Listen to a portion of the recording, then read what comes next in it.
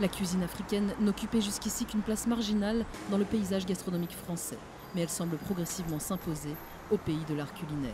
Symbole de cette nouvelle tendance, African Fusion, au cœur du 20e arrondissement de Paris, créé par trois jeunes Français d'origine sénégalaise.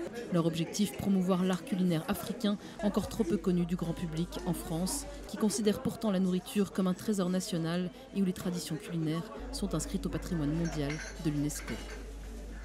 C'est pas une cuisine plus mauvaise que les autres. Elle a juste été mal présentée, on va dire, euh, euh, à son arrivée. Et maintenant, c'est quelque chose qui est en train d'être rectifié.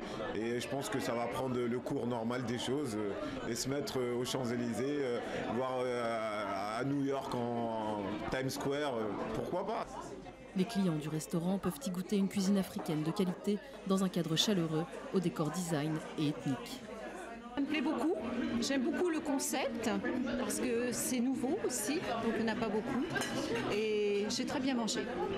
Les restaurants de cuisine africaine sont d'ailleurs de plus en plus encensés par les critiques. Le guide gastronomique en ligne, lafourchette.com, a ainsi constaté une augmentation de la fréquentation des restaurants africains sur son site.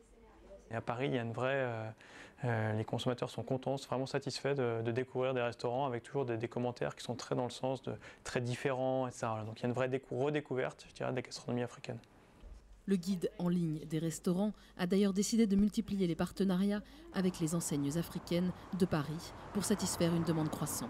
Parmi eux, African Lounge, situé dans le 16e arrondissement, un des quartiers les plus chics de la capitale.